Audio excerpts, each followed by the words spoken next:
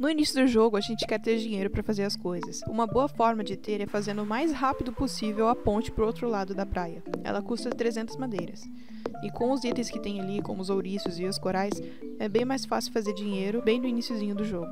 Se você ir na clínica do Harvard e vir no balcão, você terá uma lojinha que só tem dois itens para melhorar a energia e a saúde. Se você colocar esse item em uma máquina de costura, ela vai virar uma camiseta imitando músculos.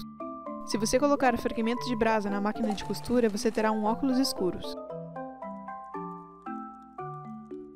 Sabe este nome embaixo que aparece no seu nome? Ele é gerado a partir da soma dos seus números de nível de habilidade, dividido por 2. Aqui na Wiki tem a listinha de cada um deles.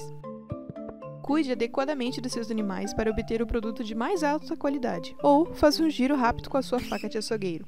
Isso foi escrito no blog do Stardew Valley. Nas primeiras versões do jogo, você poderia cuidar e matar os animais em seguida.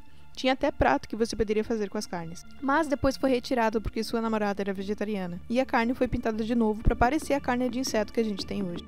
A Penny ia se chamar Dana, o Willie iria se chamar Dick e o Alex iria se chamar Josh. Se você tiver alguns corações com o Sam, você pode entrar no quarto dele e tocar os instrumentos dele.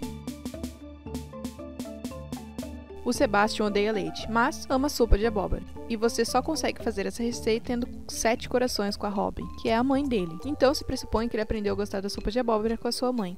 Essa muita gente não sabe. Você pode organizar as suas roupas colocando elas no seu guarda-roupa, organizado por categorias.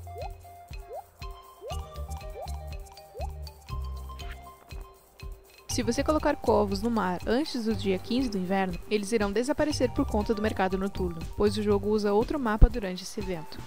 Se você for lá na barraquinha do Linux às 6h40 da manhã, você vai ver ele fazendo suas necessidades atrás desses arbustos. E nos dias 15 a 18 da primavera ou nos dias 8 a 10 do outono, você pode coletar frutinhas desse mesmo arbusto. Estranho, não? Mais dicas no canal.